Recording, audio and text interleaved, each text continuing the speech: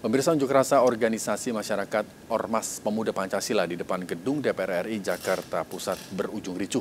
Masa nekat menganiaya seorang perwira polisi berpangkat AKBP hingga korban luka robek di bagian kepala.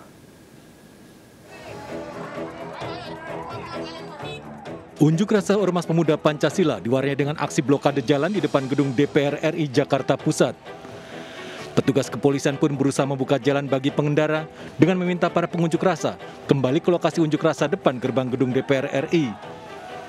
Namun upaya polisi justru menimbulkan kemarahan massa. Bahkan masa nekat menganiaya seorang perwira polisi yang berusaha membuka jalur bagi kendaraan. Aksi massa mengakibatkan seorang perwira polisi luka-luka Perwira polisi AKBP Dermawan Karo Sekali yang menjabat sebagai Kabak Ops di Lantas Polda Metro Jaya mengalami luka-luka di bagian kepala dan wajah. Korban berhasil dievakuasi dan dilarikan ke rumah sakit. Aksi brutal masa membuat Kapolres Metro Jakarta Pusat, Kombes Pol Hengki Aryadi, murka. Hengki meminta pimpinan Ormas bertanggung jawab dan menyerahkan anggotanya yang terlibat dalam aksi pengeroyokan tersebut. Kegiatan rekan-rekan sekalian sekarang dinodai ulah daripada rekan-rekan sekalian sendiri.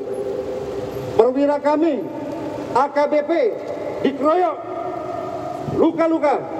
Apakah itu tujuan rekan-rekan datang kemari? Melawan kami yang mengamankan rekan-rekan sekalian. Melawan kami, mengeroyok kami yang melayani rekan-rekan sekalian. Saya minta pimpinan aksi ini bertanggung jawab.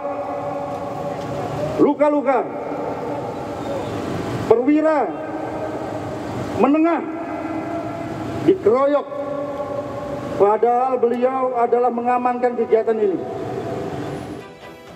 Kericuhan baru mereda setelah personil polisi tambahan tiba di lokasi dan melakukan pembubaran paksa.